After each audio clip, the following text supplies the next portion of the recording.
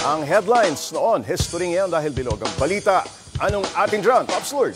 Paps, nasa mga balita noong nakaraang mga araw ang panawagan na hindi raw dapat makialam ang simbahan sa kampanya para sa halalan. Example, si Mayor Isko ay umangal na hindi raw dapat ginagamit bilang mga venue ng campaign rally sa mga simbahan ng Iglesia Katolika.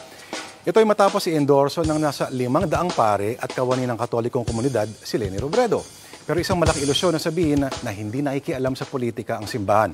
Kung intindihin mo rong Article 2, Section 6 sa Konstitusyon, Separation of Church and State.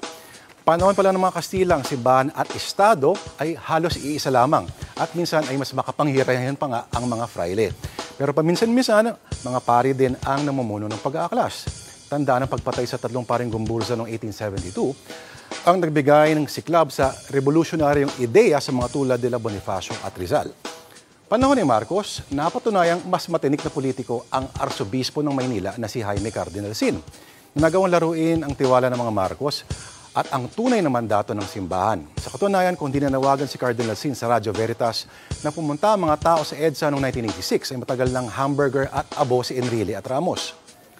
At tandaan na sa isa sa mga di malimutang larawan ng EDSA Revolution ay dalawang madreng ito na humarap sa mga tangke at sundalo at ang batang si Ed Lingaw na hindi naman madre pero galing seminaryo.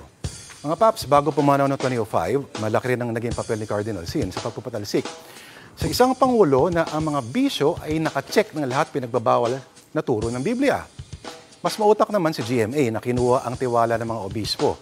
Yung iba pa nga, nabigyan ng mga pajero. Panahon naman ng pangalawang Aquino na Pangulo, nang gigil ang mga obispo sa pagtulak ng gobyerno ng Reproductive Health Bill. Pero mga paps, wala sila nagawa laban sa isang Pangulo na taga Davao na may mga bisyo rin gaya ni Erap, kundi hayagan tumiligsa sa simbahan at ang mga alagad nito. Pakinggan natin ang hamon sa kanila ng tinuturing ng maraming Pinoy na tunay na poon. I challenge the Catholic Church. You are full of Eh, nag-isip. You are full of... Ano kaya yan, Paps? Grace. You're full of grace.